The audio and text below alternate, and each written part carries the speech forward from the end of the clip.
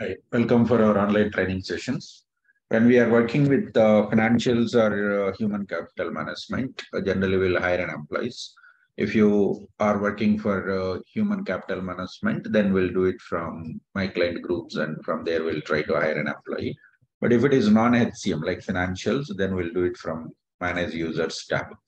So if we are trying to perform from manage users tab, what will happen?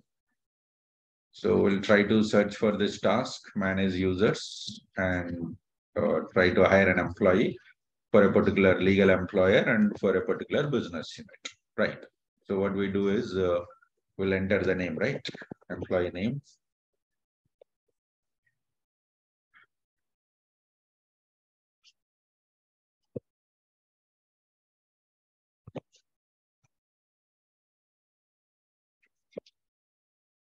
That's the username we are trying to, and we'll choose that person type as an employee. And when we try to hire uh, for our legal employer and try to change, select your legal employer, immediately it will show you the error message. Or you will get some, you know, uh, application issue or something like you will be getting like this. So if you try to use that, this type of error will be getting.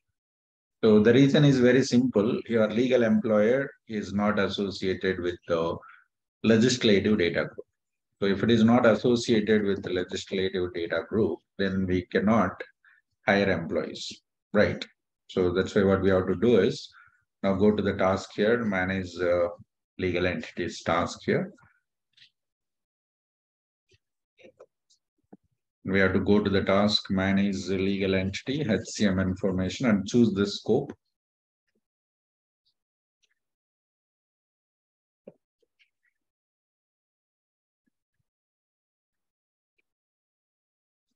What is our legal entity? This is, we already enabled it as uh, active status, now legal entity. And we can find this is uh, PSU and as well as legal employer also. So we can directly go ahead with this and associate with LDG. If it is PSU, then only we'll be able to assign to the legislative data group because uh, we can run the payroll and uh, the payroll related information will be populated over here. And now we can see this is our legal entity. We enabled it as a legal employer. That's why we got this. And we enabled it as a PSU. That's why we got this tab, payroll statutory unit over here. Okay, now go to this tab, PSU. And here we will go for associate or legal employer with LDG. LDG stands for Legislative Data Group. In case in the interviews, if they ask us what is LDG, LDG stands for Legislative Data Group, which we will be using to maintain the employees' uh, salary information. At uh, payroll module, most of the times we'll be using when we are doing the setups. We can have at least one legal, one LDG is required for every country, and we can also have multiple LDGs, depends on the requirement. Uh, that requirement is based on the payroll cost, based on the payroll cost allocation structure. Now we will be able to hire an employee for our legal employer. Let's go to the task here. Manage users task is not there and because you are in compensation management offering. Okay, because uh, this is uh, the task which we use for other than HCM. Compensation comes under HCM, right? Human capital management is a combination of three offerings, compensation management and workforce deployment and workforce uh, development, right? So then obviously we will go ahead with uh, other than HCM, let's go to finance or procurement somewhere and we can hire non-HCM employee and we'll try to do this here.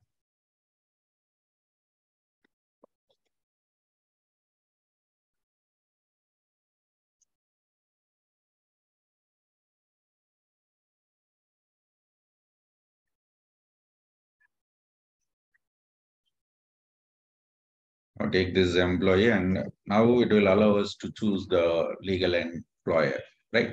No, it's what then business unit. It's not only in uh, this particular area, non-HCM, even HCM also it's a basic thumb rule. All your legal employer and PSUs, all PSUs must be associated with the LDG, not the legal employer. We don't need to worry about the legal employer. In fact, it won't allow us to associate with the LDG. Only the PSUs will be associated with the legislative data group to maintain the payroll related information.